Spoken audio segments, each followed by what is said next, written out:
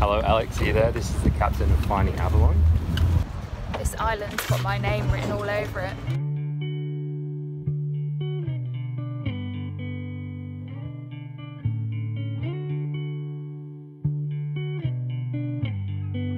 My foot pressed the gas. There was nothing I could do. I drove a little fast,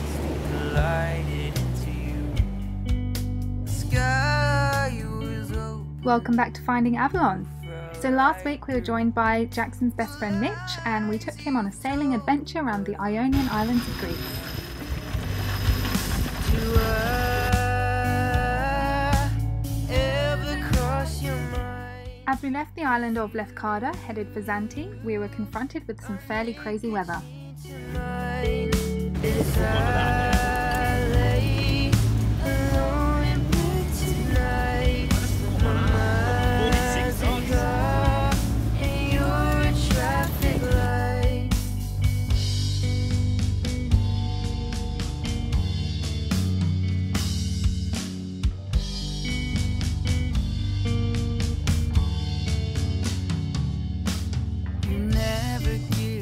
Storm was just not letting up, so we were forced to make an impromptu stop on the island of Kefalonia.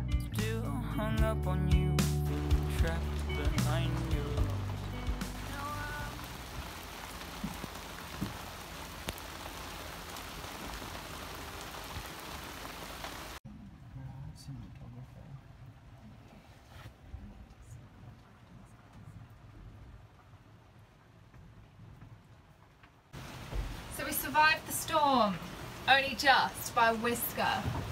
And we were in a rather sheltered anchorage. I say rather, not completely. And the anchor seems to have set quite well, got the anchor alarm on a very tight radius.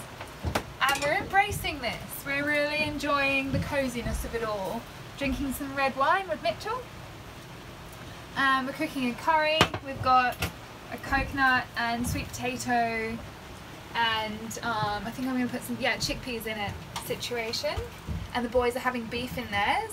I'm just gonna go veggie. Um, we're gonna play some cards and snuggle on down. Oh yeah. The captain's um, fixing stuff as usual boat life he's trying to have a last one last go at the batteries. We think we've made a breakthrough yeah, cozy nights on Avalon. A few bolts of thunder. Oh, thanks.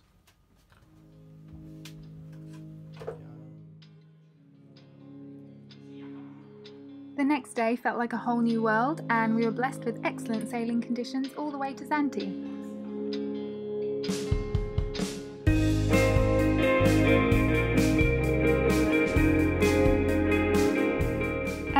Destination, the breeze completely died off, so we packed the sails away and actually made a breakthrough and enjoyed life with the motor on. There really is true serenity and peacefulness to be experienced on the bow with no sails. And we soaked up a cracking sunset as we headed into the island.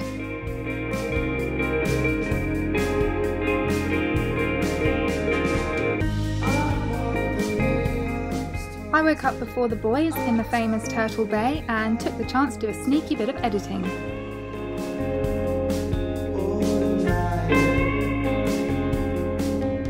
We stuck around just long enough to find a turtle, but not too long to become disturbed by the plethora of day trippers.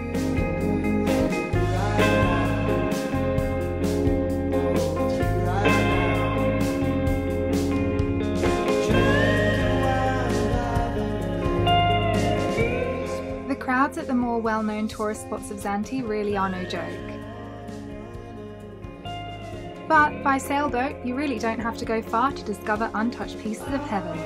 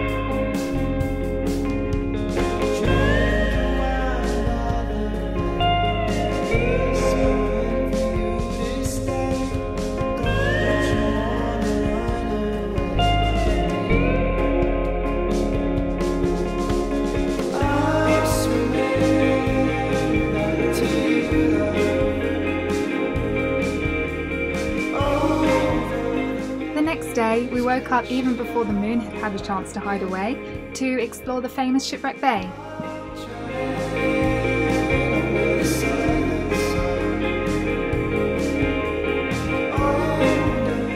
Still wearing our pyjamas, we dropped anchor and revelled in the fact that we were the first ones there, save for the two boats that spent the night there.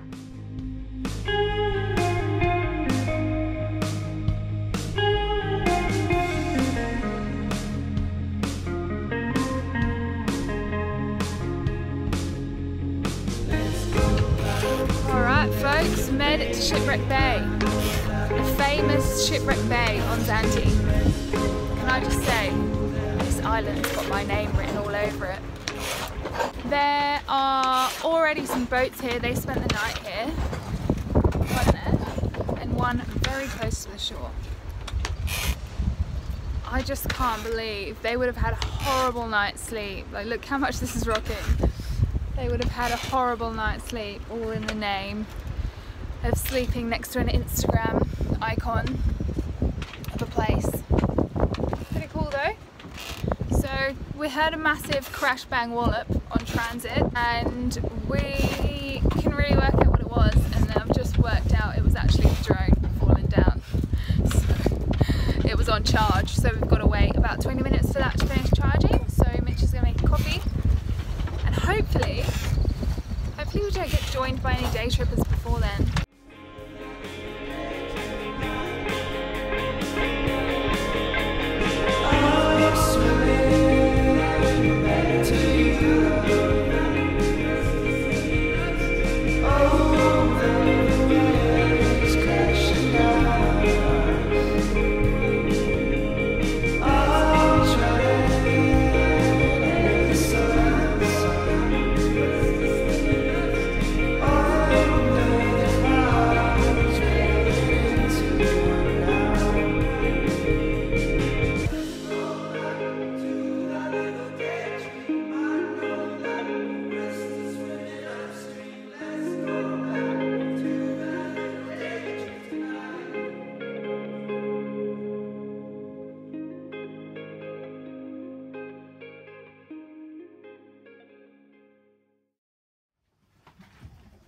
It was Mitchell's last night with us and he took us out for a slap up meal to say thank you.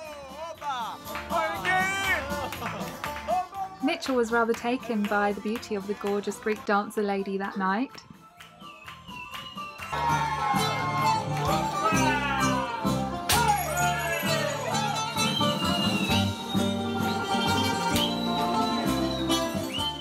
The Greek dancers had put on a fabulous performance, it was our turn to give it a crack, and also Mitchell's chance to pursue his lady.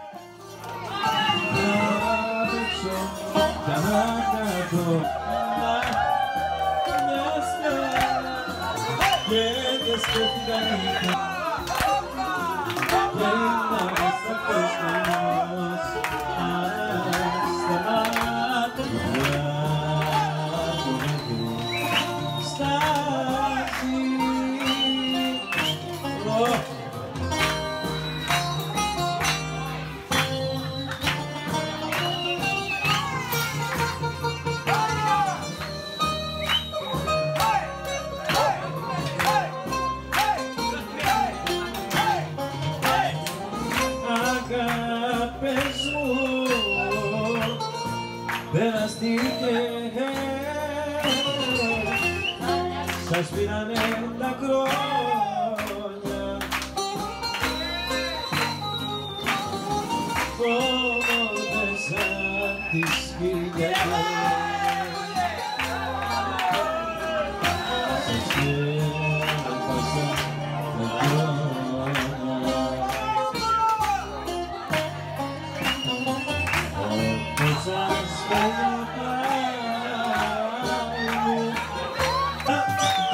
Sadly, Mitchell didn't get the girl this time, but definitely a night that none of us will forget.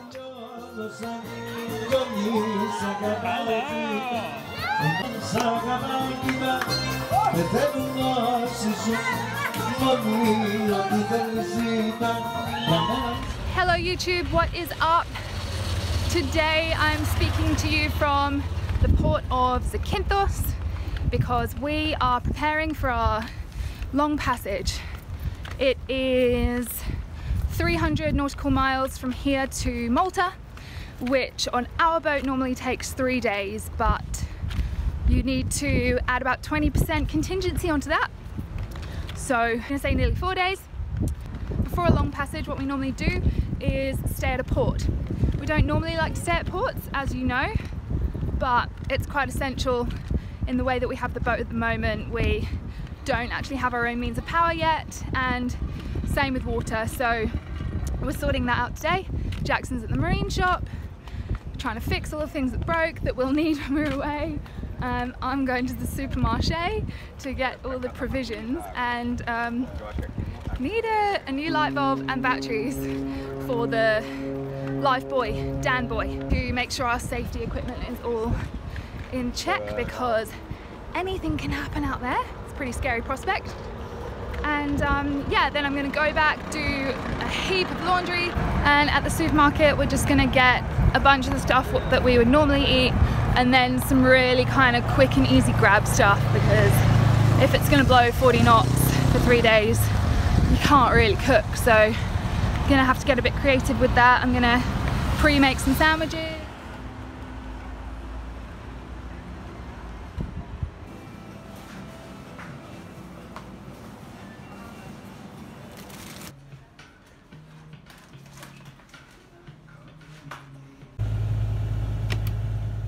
We stowed everything away for passage, completed a few last minute jobs, and Jackson had his last gyros.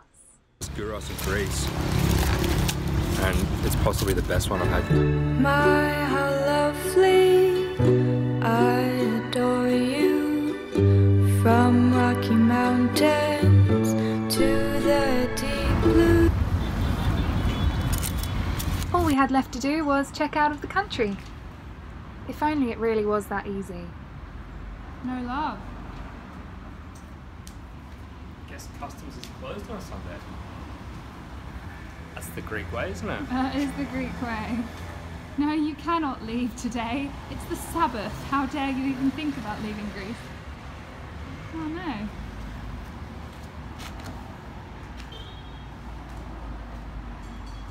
Well, I guess on the bright side, you can have another gyros before we leave.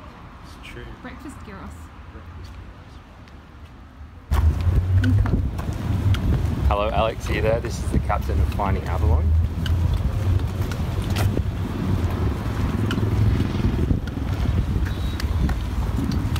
Captain, can you repeat the name of the boat? Finding Avalon. Yes, Captain. Uh, are you able to help us? Because the customs office is closed and we wish to check out. All right, Captain, give me a minute. I'm on the beginning. Thank you. We'll meet you at the boat. all the papers. We just gonna print all the documents. You're gonna give me. I'm gonna, I'm gonna make a photo, and I'm gonna turn everything to the. Okay, that's awesome. Thank you so much. That's amazing.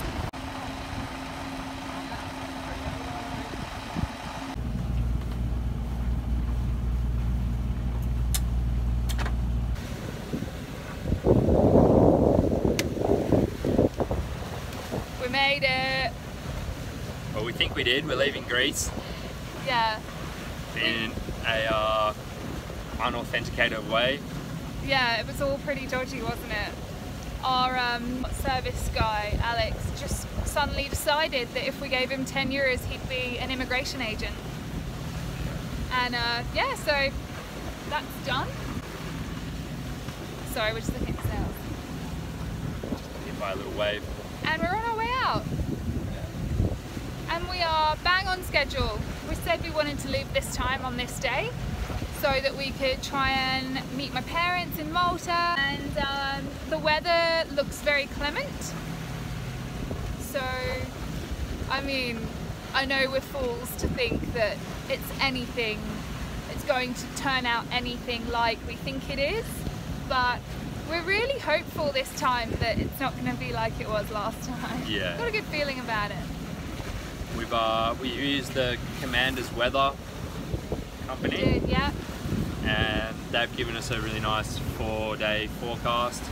yeah. We don't have our sat phone yet, so we're picking that up in Malta. My mum and dad have brought it over. Yeah, so this whole immigration port authority thing, Oh, it's just ridiculous. Like every country you go to has a different system. yeah, it's, it's like a comedy skit. It's like a pantomime show. Every Some every place countries you make you go to police and then customs and then port police. and you walk in there and there's always there's always about four of them in there and they're all sitting watching telly. And then they you walk in the door and they give you this look like it's like this wait this is this is the telly up here